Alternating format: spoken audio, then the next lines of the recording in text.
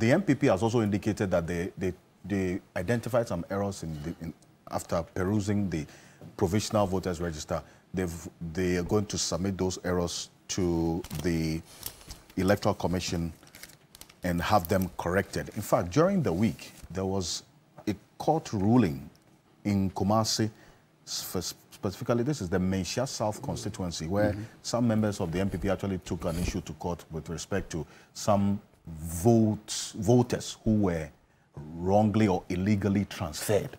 The court ruled that that process should be reversed. In fact, don't know if you've seen that. Yes. And um, and, and now the, this is an issue that has also triggered further conversation as to what could have been the extent of the errors that we are seeing. Mm -hmm. And that's why the NDC is convinced that they would want the Electoral Commission consider a forensic audit. The EC responded to the NDC's petition. We'll put portions of that on the screen right now. But essentially, the Electoral Commission says that, one, they have the systems and structures, the IT system is robust to identify all of this and correct them. And then also uh, the period, even though they admit that they did not make the register available to you, the parties in good time, it, it, was enough time for you to peruse it before the regist registration, that's the voter exhibition started. The exercise started on the 20th. The NDC, you say you got it on the 19th, a mm-hmm. day before, 1 p.m. the day before.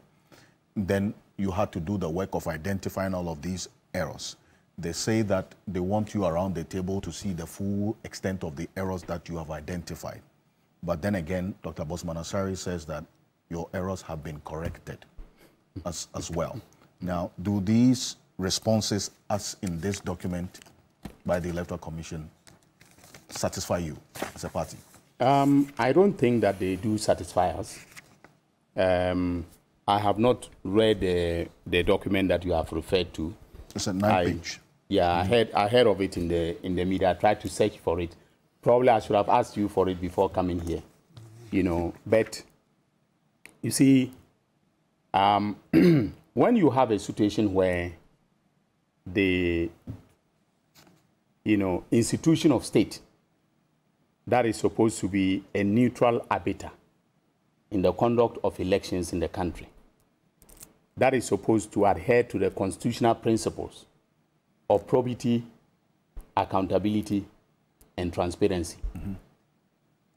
is being dodgy when it comes to the you know, execution of its own mandate, then we have cause to be worried. Because from the document that you have read, the EC has claimed that its IT system is robust. Mm -hmm. And uh, as a result of the robustness of the IT system, they are confident that nothing untoward has happened. All right? mm -hmm. Or whatever, you know, has happened can be easily, you know, I mean, uh, corrected using the IT system. Mm -hmm. Okay, Alfred, we have been here in this country when um, it was reported that someone in uh, Tamale South constituency took the ID cards, the voter ID cards of, uh, you know, voters in Tamale South, 26 of them. Mm -hmm and virtually use that, okay, without their being present to transfer their votes to Pusiga. How did they do that? A robust IT system should have prevented that from happening, given the fact that they were not present, given the fact that their biometrics were not taken, all right, mm -hmm. before the transfer was effected okay? Mm -hmm. But without the biometrics and without them even knowing that they had, I mean, uh, uh, they were, uh, a transfer was being done behind their back, all right? These transfers were effected to Pusiga, all right? Mm -hmm. Using the IT system. In fact, the Tamale South offender did not take the ID cards and go to Pusiga to do it. They did it in Tamale. So there's an, I mean, an electronic footprint that shows that in Tamale these were, I mean, uh, affected, all right, and it was also, I mean, uh, allowed by the Pusiga, you know, I mean, a person. Okay? Even if the ID cards were taken to Pusiga, right, it means that the 26 persons must have been in Pusiga For, for a rob- yeah, yeah, I mean, it, for the transfer to be effected. Because they have to physically Without being there, without being physically present. And then the, I mean, uh, uh, um, the system allowed the transfer to take place, meaning that the system is not as robust as is being claimed. All right? It is thanks to the vigilance of the able, um, I mean, uh, elections directorate personnel headed by the Honorable, uh, you know, Omane Boamah. You know, through their diligence, through their vigilance, that, you know, they detected that these violations have taken place, that these errors have been made. So if the evidence has been, I mean, uh, presented to you, okay, and you have accepted that, the Ele- Ele- Electoral Commission has not denied that the errors have occurred, right? The admission that the errors have occurred in and of themselves, that admission in and of itself, shows that the IT system is not robust. Okay? The, Be- the because that they, they admitted they, they admit that the errors have occurred and that they have corrected the errors. Okay. Now, if you look, I mean, uh, the Electoral Commission is supposed to be, I mean, is independent under the Constitution. All right. But as uh, Gbadegbe JSC said in Ra- Abu Ramadan um, and the report, I mean, Abu Ramadan and Attorney General, the Electoral Commission is independent but is subject to the Constitution and the laws of this country if you look at the, I mean, the, the CI 91, that is a public, I mean, uh, elections, voter registration instrument, okay, 2016, CI 91. There is a mandatory provision to the effect that the provisional register should be given to each political party, registered political party. It is for no reason that the lawmaker, right, the EC, the EC itself brought this instrument to Parliament in 2016. All right, and Parliament passed the instrument for them. It is for no reason that Parliament, you know, agreed or enacted a law that says that you have to give a copy of the provisional register to the political parties. The photo, I mean, the uh, uh, provisional register is not a photo album meant to be given to them for them to just, I mean, look at beautiful pictures of registered voters. It is meant to be given to them so that they can look in, I mean, having participated in the process of registration, they can, you know, uh, peruse the register and carefully, you know, detect, if possible, all right, any mistakes that have been made with respect to the register. And that is what the NDC is doing. And you have already, I mean, as you, you have already also cited the case of the Manchester South, you know, issue, all right, that I think over a thousand uh, transfers were challenged and they were, I mean, they were, they were successful. So it means that there are concrete, you know, I mean, uh, issues with the voter register as we have it now. All right? So if we are calling for a forensic audit, there's nothing wrong with that. And the, in fact, the uh, electoral commission says there's really no need for it because their systems and structures now can i- i- is doing the work. No, they, but they, have, they haven't demonstrated that, you know, to uh, the NDC and to the, I mean, all the political parties and to the citizens of this country. In fact, they are supposed to count, I mean, account to the citizens of this country for the work that they do. All right. So if there are concerns, okay, for instance, how do I know that on election day I am not going to wake up only to find that my name is in uh, Adenta and not in Zuarungu? How, I mean, I need to be sure that there will not be any displacement of my name, all right, from Zuarungu to Adenta. So, as a citizen, I should be concerned that these things are happening. And the Electoral Commission has to assure me that the, the register, if certified, because the, I mean, under C, I mean, uh, CI 91, all right, as amended by CI 126, mm-hmm. okay, the certification process, okay, mm-hmm. means, means that at the end of certification, you cannot raise an issue again about deficiencies in the register. that is the register that will now head us into the election. Mm-hmm. All right. So at this level where the provisional register is being contested, it is only fair to all stakeholders and to the citizens of this country that the Electoral Commission should do the right thing, okay, by allowing for a forensic audit to take place. In any case, the same um, uh, Madam Mensa, the chairperson of the Electoral Commission, whilst in, I mean, uh, at IE, when the NPP was calling for a forensic audit, I think around 20, late 2015, I mean, early 2016, all right, she supported that call. Is it because it was someone else who was on the seat that she thought that the person wasn't doing a good job and therefore there was, there was no robust IT system and therefore there was a need for a forensic audit? That forensic audit took place. In fact, even after it took place, there were still there was still litigation, and that is how come Abu Ramadan number one and Abu Ramadan number two took place in the Supreme Court. And the Supreme Court ordered the Electoral Commission, then headed by the, Madam uh, Charlotte Osei, all right, to delete, expunge a number of names, you know, of persons who were identified as either, you know, I mean, a dead or underage or not quali- otherwise qualified to register. Okay, and that was done. So, in the interest of transparency, it is only fair that they accept with humility, okay, that they have not done a very good job with the registration. That the system as they have it, the IT system that as they have it, has been breached as evidence in the Pusiga, I mean, uh, uh, uh, issue that I have raised, and then also by the, I mean, the evidence of, you know, the the um, the evidence that was presented by the, I mean, by the NDC to them. Okay. You are asking to have access to their uh, IT protocols to know who gets in, into the system, who has access into the system, and, and through which back end and so on. They also say that that's really not necessary. No, no, no. It, it- it- it's necessary. It's necessary because let me tell you something, Alfred. When the register is compiled, it is compiled into something that looks like a, it's a booklet like this, right? And it is given to the political parties. The IT sy- system contains the electronic version of this booklet.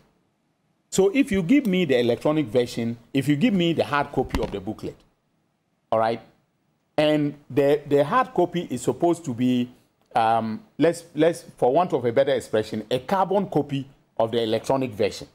And I'm telling you that, okay, you know, I could look at this book, book from the last page to the, I mean, uh, the, the first page, right? When you talk about back end and front end, that is what it means, all right?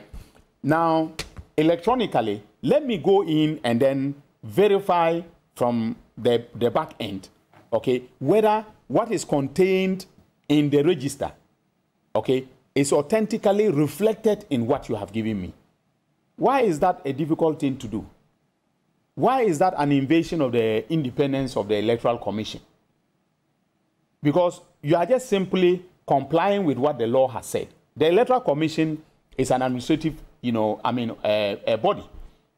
And under Article 23 of the Constitution, they are supposed to act in a fair and reasonable manner and to comply with all the requirements imposed on them by law. That is what Article, Article 21, I mean, it says. What does it mean to, to act fairly? Okay? Acting fairly means that all stakeholders, right, you must take their concerns into account. All right? You mm-hmm. see, there is a certain perception, or let me say, their conduct is giving rise to a certain perception. Okay? Whether rightly or wrongly, they are being perceived as being in bed with the NPP. And that is not good for their independence. The chairperson and the commissioners must demonstrate that, okay, they are, I mean, independent, neutral arbiters. Okay? Mm-hmm. And that they are, they are treating the NDC as fairly as they are treating the NPP. Okay. But it appears that now, because the NPP is not concerned about whatever is happening, okay, they don't, they don't really, they don't really care. The, the, but let me say that if the N- NPP begins to raise issues about this register, Jean Mensa will call, I mean, will ask for an audit to take place. Well, here's the General Secretary of the party, Justin Frimpong Kodua, indicating they've also seen errors Yes. in the register. Take a look. Detected some errors in the register. Uh, some including dead people in the register, and some people whose name has been uh, has been transferred, or some people who wanted to do transfers but has not been uh, effected. All these things are what we are planning to send to the Electoral Commission next week, based on what we have detected. And we expect the Electoral Commission to use their internal mechanism to address all those issues. Well, so that's just an important Korea So you said they're also concerned, is it not? I mean, is, is this not an expression of concern that they have also identified the Well, but, but you see, it then buttresses, you know, the genuineness or legitimacy of the demands being made by the NDC. If the two major political parties, all right, um, you know, have come to the conclusion that there are errors on the register, then it means that the register, for all, to all intents and purposes, is not fit for purpose. Great, but it's the process of correction. The Electoral Commission stands by the position that they have the competence to correct these errors. You say that to the extent that you committed those errors yourself, you've admitted to some extent of the criminality right. in the case of the Pusiga, situation, yeah. Then you are not the same persons to correct these criminal acts. Yes. You want a forensic audit. Yeah. I think that's where the departure is. Yeah, but, but, but uh, Alfred, the forensic audit cannot be conducted by the EC, right? Mm -hmm. By the EC itself. Does the EC have the capabilities to be able to conduct a forensic audit of its own register? It does not. You know, I, I have been in this game for, I would say, 12 years now almost. In December will be 12 years. Mm. All right. I have dealt with the EC at all levels, from the constituency level to the regional level, all the way to the national level. They do not have the capabilities technically to conduct a forensic audit. And that is the only way by which we can say if the IT system has in any way been compromised, that may lead you know, to illegal vote transfers and so on and so forth. Because look, I mean, this, uh, this is a very serious issue that, I mean, uh, can easily compromise the integrity of our democratic process. Okay? We can have a situation where, let's say, I mean, you have a marginal constituency. I'm just giving an example. Okay. A marginal constituency where um, usually the NPP or the NDC wins by, let's say, um, 1,000, I mean, votes. Mm -hmm. All right. All you need to do electronically is to move 3,000 votes you know, of known NPP persons to that constituency or known NDC persons to that constituency. And you tilt the balance, I mean, in favor of the, of the party whose members have been transferred to that. Uh, that is electronic gerrymandering. Mm -hmm. Okay? And, and that is a big, a big concern for all of us. The, the will of the people must truly reflect what it is. That at the end of the day, when voters come out and they queue in the sun or in the rain and then vote, okay, their preference must be reflected.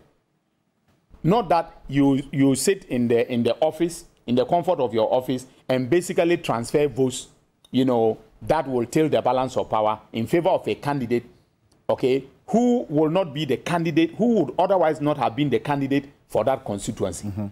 All right? Right. And even in terms of the, the, the, the, presidential, okay, let me just use the Pusiga example, for instance. Mm -hmm. All right? So, Pusiga, you have uh, 26 people were sent from Tamale South. And you know that Ta Tamale South, uh, my junior brother, uh, the, the, former leader, uh, Honorable uh, Haruna Iddrisu's uh, constituency, is predominantly NDC. Mm -hmm. NDC wins there by about 85, 90%, 90% mm -hmm. in every election. All right. So, I mean, on a balance of probabilities, these 26 voters would likely be NDC voters. What you are doing is to disenfranchise them by sending them to Pusiga. Because on election day, right, they go to Tamale they go to their polling station, and they are not, they, are, they won't be able to vote.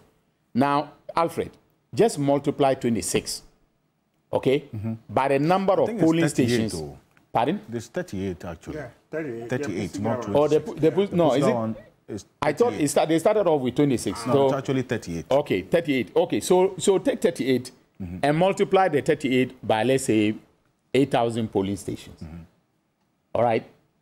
Presidentially, if they, are, if they even estimate that half of these polling stations, all right, are NDC uh, dominant polling stations, okay, you multiply 38, okay, by 4,000. How many do you get? Right? That is over 400,000. Yes. And that can tilt the presidential election in favor of Amin Bawumia very, very easily. So electronically, you can disenfranchise and win the election. Huh? That's what I call the electronic electronic uh, gerrymandering. You basically disenfranchise voters that you know will vote along a certain party line, and then make sure that once they are disenfranchised on that day, that party is going to lose over 400,000 votes. So these are very serious, major issues that the Electoral Commission should not be, I mean, uh, toying with. Well, there's, you asked for a re-exhibition of the register after the correction of these errors. They Right. they, will, they will do that electronically. They will do it online. Well, I mean, see, when I saw that, when I saw that, uh, Alfred, that's a very lovable, I mean, uh, uh, uh, response to our demand. You know why? My my constituency, Bolga East, all right, is partly urban. I mean, no, partly peri-urban. I will even say urban. It's partly peri-urban, all right, and mostly rural. How many people have smartphones, tablets, or computers in Bolga East? to be able to go, I mean, and verify electronically, uh, you know, that, I mean, their names are on the register.